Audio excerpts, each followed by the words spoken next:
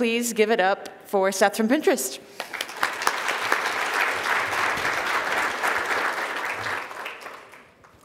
Awesome. I'm really excited to be here today. So I am Seth at Pinterest, and I'm our product lead for our growth traffic division. That division includes our performance marketing, emails and notifications, and SEO. And if you're interested in talking about how we combine all those things together into an omni-channel strategy, as we talked about earlier today, feel free to talk to me later. Right now, though, I just want to focus on our email and notifications and how we went from a program that was primarily driven by curation to one that's driven by machine learning and automation. Now, why am I up here? Well, I think we all kind of know the Pinterest brand, but we're sending a few billion emails a month to hundreds of millions of people. And over the last few years, we've been able to increase the effectiveness of our programs by over 300% by applying the principles I'm going to talk about today. And my hope is that everyone in the room, regardless of your size, can understand the principles that I'm talking about and apply them to your programs. I know not everyone has access to machine learning resources that sit on their notifications team. I have had many a job in the email space, and I know that this is very rare. I appreciate it. But the things that we apply are things that anyone can apply to their programs. And I hope that everyone can walk away from that, with that. One of the things I really love that I'm already seeing is how much the same trends are being talked about, how much we're talking about experimentation, iteration, and understanding your customer. So I'll repeat some of the things we heard earlier, and hopefully they just really bring in how important that loop is that the folks from Intuit were just talking about. Before I get in there, I want to talk about what Pinterest is. Pinterest is not a social network. Pinterest is a place where we want you to discover content that makes your life better, whether that's food, thing, ideas to do with your kids, travel ideas, how to start your first business. We've got people around the world who are discovering and doing what they love from the content they find on Pinterest. Our special sauce is not that we show you what your friends are doing, not that we're showing you what's popular, but that we understand you. All of our systems are built around taking the things you do on Pinterest, the things you look at, the things you save, the things you search, and creating a personal taste profile for you. So that when you come back to Pinterest, we don't just show you food, we show you roasted, roasted, Brussels sprouts if that's what you're interested in. We're not just showing you the stuff your friends are interested in, we're showing you what people like you are interested in. And that's what makes us special. That's what differentiates us. And so when we started looking at how we wanted to overhaul our email programs in 2015, we said we wanted to create the same experiences. So today, our programs look like this. This is an email. These are all emails I actually have received. So I've got a board called Plating, and this is a very specific niche set of pins just for me. One day, I hope one of these startups hits and that I'm able to retire and be a chef. So I like to collect these images as inspiration of that future life. This email, uh, the, the Richard Serra one, is based on a search. So that I searched for Richard Serra, and we followed up with more content for me. The home decor is actually a broader trending content, but it's not what's globally trending in home decor, but what's trending amongst my interests. So I really like wood stuff and kind of light colors. And then we have a digest that includes a lot of different content. This is where we are today, but this isn't where we started. So we'll talk about the path we took to get there. There are three core principles that we've applied. And that's What's up there? Okay, cool. Um, I'm to put the clicker down. It's definitely not working. Um, testing everything. We've already talked about this today. We're to talk about it more, I imagine, throughout the, throughout the next day and a half. Testing is so crucial to our success. Because even though we had ideas of what we wanted to do, we had to prove them out through experimentation. We also made a bet on centralizing our systems that has paid off huge dividends for us and putting all of our data in one place. The last and most important thing we started doing was understanding how to extend our product value into emails. So our product value is machine learning personalization. And that's why, what, that's why it's successful for us to put that in the emails. Not every company needs machine learning automation to back the content of their email. For Pinterest, it's the only thing that makes sense because that is our value as a product, telling you what you can, we can do versus showing you what we can do. So let's jump into experimentation. When we think about experimentation, the first thing that we have to do is set the right goals. If you don't set the right goals, you don't know if you're going to have enough of an audience to actually measure your goal. You don't know if you're going to have statistical significance. And so for us, the right goal was to look at weekly active users 28 days after we ran an experiment. 28 days is the window that works for us because that's what our, when our reactivation curves or activation curves stabilize. Not every company is going to have 28 days. Some are going to be 90. Some are going to be a year. For us, it's weekly active users 28 days later. Knowing that was the goal, we built our email systems using the same experimentation platform as the core product. So that means that we're judging what we do in our emails and push notifications in the same way we would any other product change. So we can measure how we changed search behavior, how we changed impression behavior, and uh, particularly, of course, how we changed daily usage and weekly usage. You'll see a few screenshots of this experimentation dashboard throughout the presentation. Just want to talk about it for a quick minute. Blue is good. Blue is statistically significant, positive. Gray is neutral, we don't know about it, and red is negative. So if you see one of these screenshots and you see lots of blue, that's good. When we think about what we want to experiment on, we apply four principles, coverage, conversion, quality, and scalability. Now, scalability is a new one. That's come about just as we've been working on these programs and we understand that we found that not everything we do will actually be able to reach as many people as we want. We can make a great change to our program, but if it only influences 100 people, it doesn't scale for us. So now we need to make those considerations of how many people can we actually affect by these changes. When we work with our new engineers to teach them about coverage, conversion, quality, we show them this funnel. This is the same funnel I've been showing to the engineers on the team since 2015, saying, hey, you want to think about what ideas? You think about this funnel. So coverage, just how many people can I reach with this message? Our conversion rates are going to be each step in the funnel. What's our conversion look like? Open rates, click to open rates, in-product engagement rates to views. And then quality is a really important long-term metric for us that we found we can move. Quality we judge um, really, how, how personal is that content? How much did it get someone to engage with it? So quality is going to be click to open or in-product engagement to in-product view. Because that tells us we're actually putting something in front of someone that they're interested in, and not just putting in something that they uh, will passively engage with. Now, the other very most important principle we teach our engineers is that most experiments will fail we range about 45 to a 55% success rate. So that means some quarters, more than half of our experiments don't actually succeed. But it's through that failure that we learn and we iterate and we grow. I want to walk through one specific example of how all these principles come together into a successful outcome for us. So years and years ago, I took all of our emails, and this is before I had all this fancy stuff built, before I had everything integrated, and what I had was open rate and click rates for our emails. That was the data that I had. So I exported it, I put it in a spreadsheet, color coded it using that Excel color code thing you can do, um, and I saw the red ones. And this email, the Pin Twins email, was dark red. And I was like, okay, great. This one's got the lowest subject line, uh, su uh, open rate, subject line performance. So how are we gonna improve it? Pin Twins is an email where we match you with another person who has similar taste. Subject lines, discover new ideas from your pin twin. So we ran a bunch of experiments, standard A-B test stuff, nothing fancy, just put a bunch of options in, and we saw that we had a winner. Seth and John, it's a match. So we took the person who you are, so that's me, Seth, and John, the person I got matched with, we put that in the email. We saw a 40% increase in opens. This is a huge, huge success.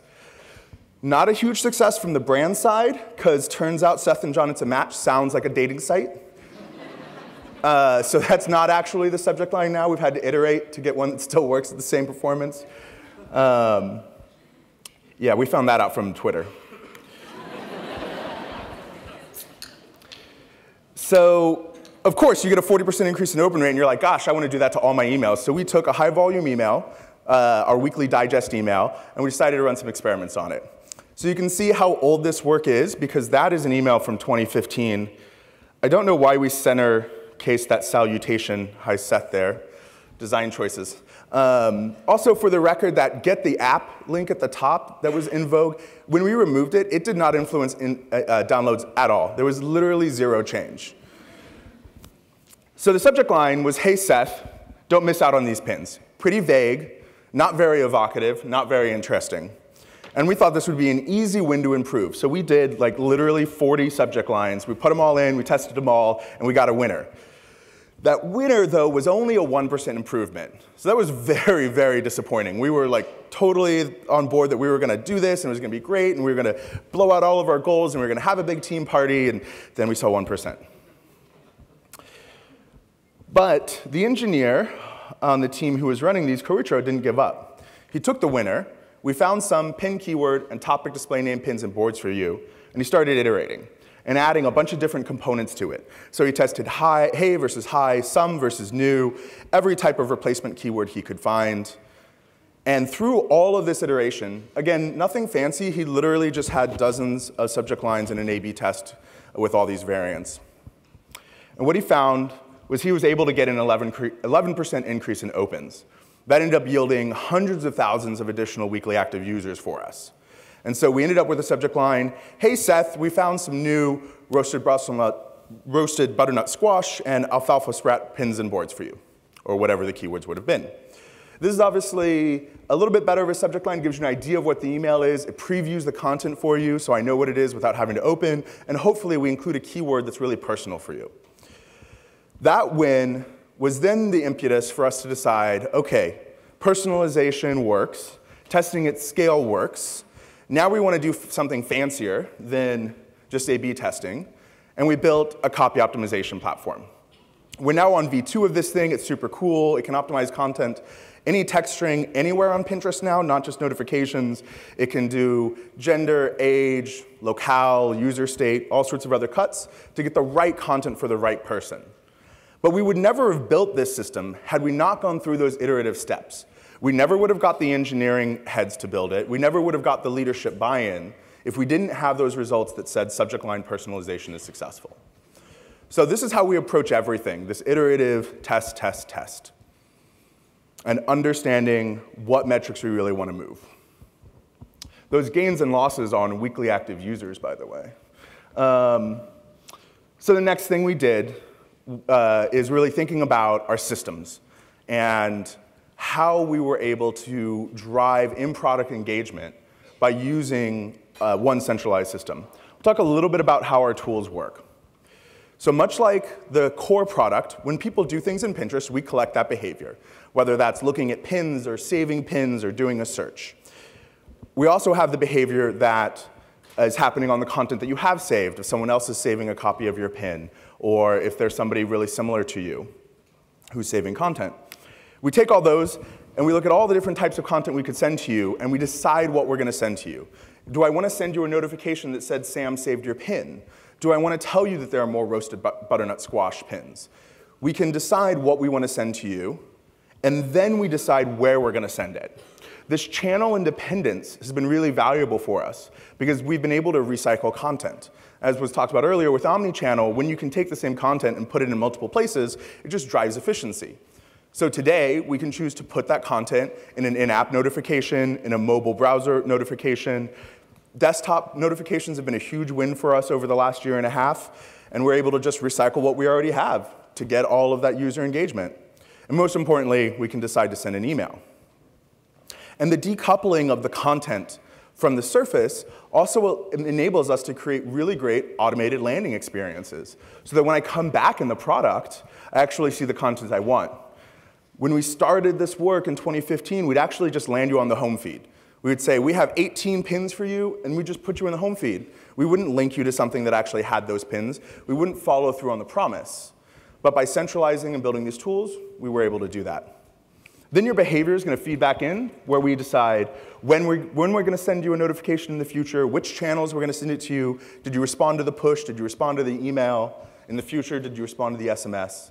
And all of that feeds back into what we decide to send to you in the future and on which channels we decide to send it to you and when.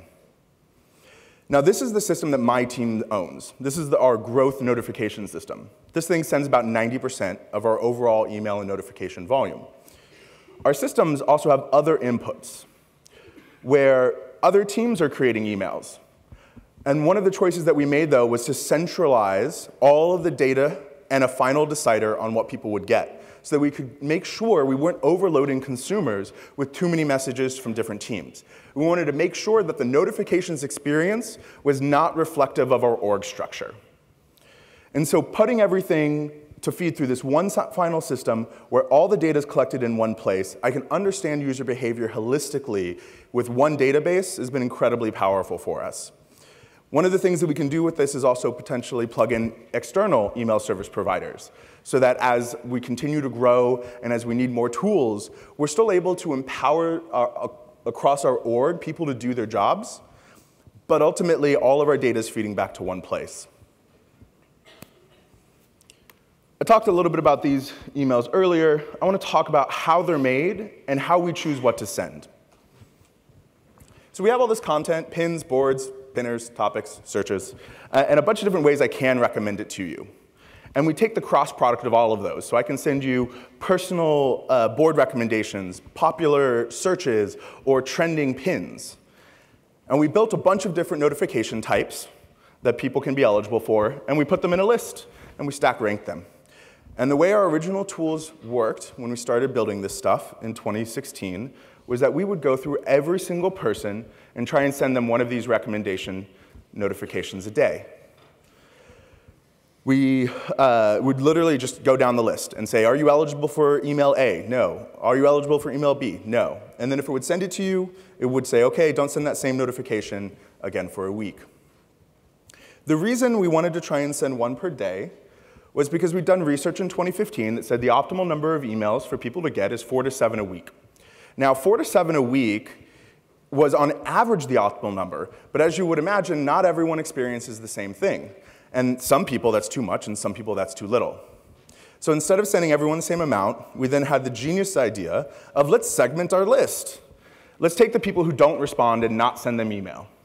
And what we saw was that if we took people who had really low probabilities of clicking on an email, and where probability here is literally your past email click-through rate, and we didn't send you emails, we could get really good results. We were able to filter 34% of emails while losing less than 1% of clicks and ultimately increasing our overall CTR by 50%. This has helped us maintain really uh, great email deliverability uh, as we've scaled. And you can see here there's lots of gray, which means we didn't impact users. And I'm a growth guy, so I was, of course, like, well, let's send those people who like it more. Uh, and we did. And we sent 5% uh, uh, more emails to those people who had very high past click-through rates, huge gain in clicks. But you see here this behavior where it goes blue and then gray and then blue and then it kind of goes off. It continues to do that. Because the only reason we're increasing behavior is that we sent an email. We're not actually changing long-term retention with this experiment. We wanted to go deeper, though, because if we could get less engaged people, because the people who click our emails the most are also most engaged with our product. If we get less engaged people coming back, we can make it sustainable. So the next iteration of this experiment was to say, let's use different thresholds based on how much you use Pinterest. Are you really hyper engaged? Are you mildly engaged? Are you unengaged? And send the highest uh, clicker, the people with the highest click-through rate in each of those categories more emails. When we did that, we increased email volume 20%, and we were able to get an overall increase of more than 70% in clicks from those audiences. And you see the blue here is blue everywhere. So this was fully sustainable. From there, that said, okay, if we can get a little more personal with the type of uh, email frequency that we're sending to you, we get better results. What if we fully personalize it? Which is what we did. Today, we have a fully machine learning backed personalized frequency tool which decides how many emails to send to you this week so that you use Pinterest 28 days in the future. That's the goal of the machine learning model. It's really, really powerful for us to have been able to do this because we can customize for each and every person what they're receiving. If you want to know more about machine learning and what those goals means and all of that, uh, Emily from Credit Karma is going to talk more about how to use that technology. Ultimately, I can tell you, as a marketer, it was very scary at first, but you learn the lingo and you work with the professionals and they take care of it, because I don't know how machine learning works. Okay, last principle, extending the product. I'm gonna talk about this in three steps, onboarding and education, content personaliz personalization, and interactive emails. Years ago, we had an email program where we sent you one email a day, every day. And that was our onboarding program.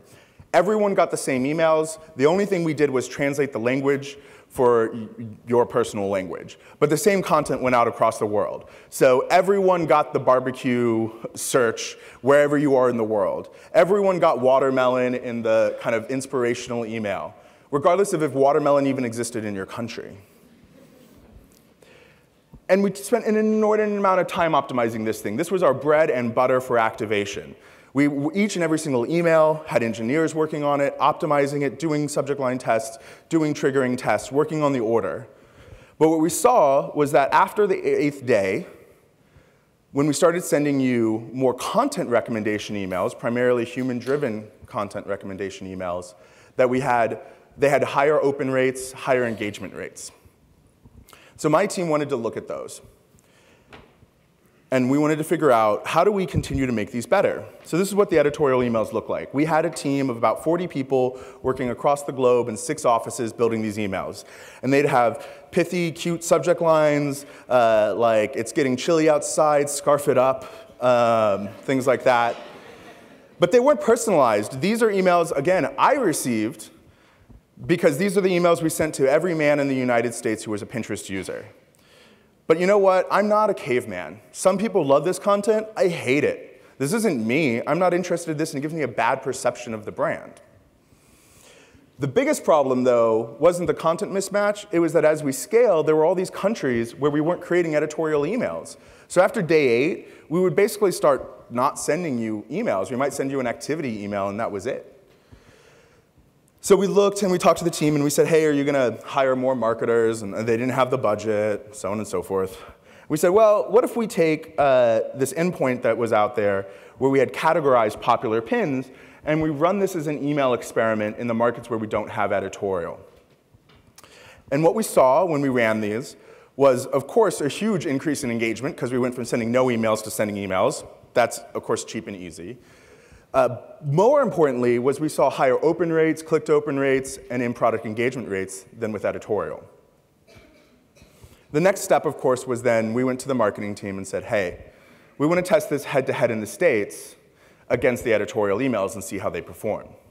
And again, we saw that these performed better at each step of the funnel. It wasn't dramatic, but they did better. The thing about moving to automated content generation is that it becomes iterable. Yeah, it becomes an iterable platform, something you can build upon, something you can make better, something we can personalize more. So is, that's exactly what we did. Is then we, we built a niche recommended pins. So instead of it just being broad categories like home decor, it's now my specific interest in woodworking. Instead of food and drink, it's roasted Brussels sprouts, so on and so forth. This was the game changer for us. This dramatically outperformed any other email that we had in every way, shape, and form, including having a lower unsubscribe rate. Because it turns out when you show that we understand who you are and your interests, you engage more with our emails and our product. This, of course, led me to go back to the editorial team and say, hey, I'd like to stop sending your emails and doing any of that and only send this, which they loved. But we, you know, they're my, they're my coworkers, so I, and I myself am a marketer. I'm not trying to like get anyone's job disappeared, but uh, I am trying to put the best product out there for our users. So the marketing team had a hypothesis that said, hey, I think if people just knew it was editorially curated, they'd respond to it. They'd love it. And we tried all of these different form factors and presentations of editorialized content to see if that resonated with people. We tried many more than these as well. We tried subject line experiments. We tried saying it was from Jen, because she was one of the marketers who actually built the email. And what we saw is that none of them could perform nearly as well as these niche recommended pins. Because that's our brand value. Our brand value is not as a site of editorial curation. Our brand value is a site that understands you and is a personalized taste engine. And by bringing those into the notifications, that's where success lied. So no one lost their job, but we did get rid of editorial email. And today, we're totally reliant, in, in a good way, on all of this machine learning and automation to drive our content. That does come with road bumps, though. Uh, I'm not sure, as a parent, I kind of understand why frozen punch liquor drinks are there with babies, but uh, not exactly what we want. Uh, we also had teams like make backend changes uh, so that where we got the titles was serving access denied for us. This is text in an email, so it was permanently baked in there, of course, after we sent it. Uh, we also had filtering issues, uh, content like guns making it through, uh, because we did look at what people like you uh, potentially like. Guns is not content we want to send. We also had really heartbreaking examples where we did not think through what happens when you let the machines loose. And if I have one recommendation for anyone who is looking at moving towards automation, it's think through the worst case scenarios and use these as examples. Because this is a real email we sent. Somebody used Pinterest in an incredibly difficult time in their life, and we sent them this. And it gets worse. On 9 11, we sent out a trending search email of 9 11 jumpers. Graphic imagery in it. We sent about 300,000 of them before the first tweet came in, and I immediately was like, turn off all systems, stop sending all email. What happened? And this was a real inflection point for us. So this was 9/11 uh, of 2016, and we had Q&A with the CEO that Friday. The first question in Q&A was, "I saw this news article in my Google alerts. What's happening? Should we not do this? Should we use editorial content?" And our CEO was on, on, stage said no, that this was an opportunity for us to get better, not to run away. Because what he had seen is that by providing personalized and automated content, that put our brand into the inbox and that people liked that content. And that what we needed to do was make sure we had the right filters in place to prevent something like this from ever happening, not completely shutting down our program. Now, if the CEO had had the other opinion, I probably would be telling a different story on the stage right now. But luckily, that was his perspective, and that's exactly what we did, was put a lot of effort into our content filtering. But it was after the fact, um, so think about it ahead of time. Now, that new user email flow, as I mentioned, uh, we went back to that. And what we saw was that for emails like that day three email, which we sent to someone who created a board but hadn't saved any pins, it worked phenomenally well as an email. 50% click-through rate, half of those people would save their first pin. If you look at an email, you're like, gosh, that is just an amazing performing email.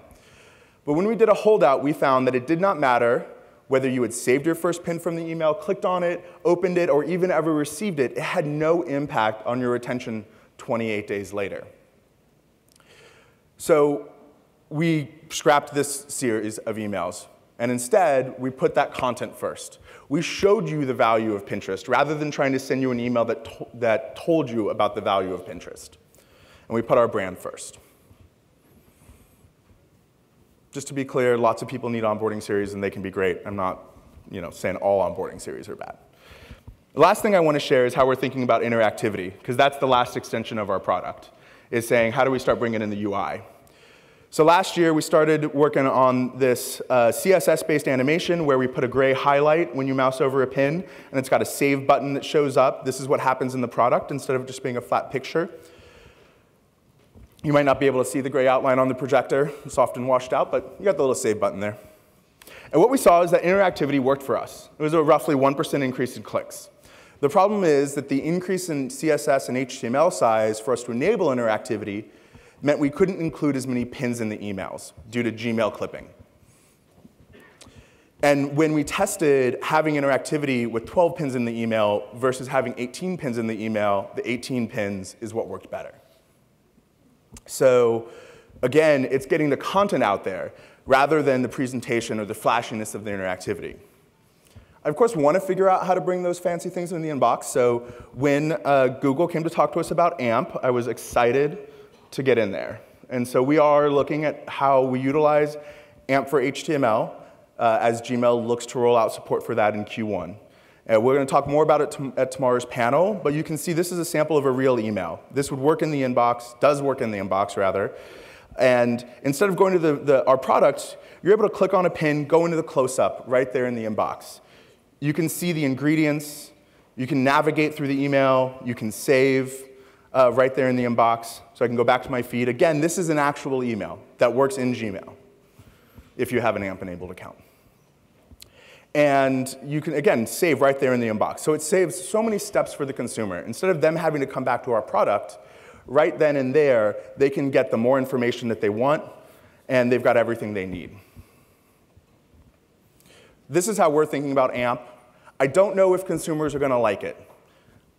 I'm just willing to test it. I'm willing to find out with, about what the inbox is going to be in 2019. I'm willing to get on board with that experimentation because we might fail, but we'll learn from it. My last note is just that while I like all this presentation stuff, ultimately personalization is the lever we're going to rely upon. We launched a new algorithm that does seasonal recommendations for people. It was a huge win. Millions of additional weekly active users came from that. Because again, it was about understanding you and the type of content that you might be interested in and getting that to you on a timely basis. So I've got my three principles, test everything, centralize where you can so you understand the impact, and extend the product. Uh, whatever your product value is, if you are an editorial curation site, you should have editorial content in your newsletters. I'm not saying editorial is bad, I'm saying know your brand, know your product, bring that in the inbox. With that, if anyone wants to reach out, I'm Seth at Pinterest.com, at Seth Weisfeld on Twitter. I'll be around. I'll be at the uh, Ask an Expert questionnaire thing tomorrow. Thank you very much.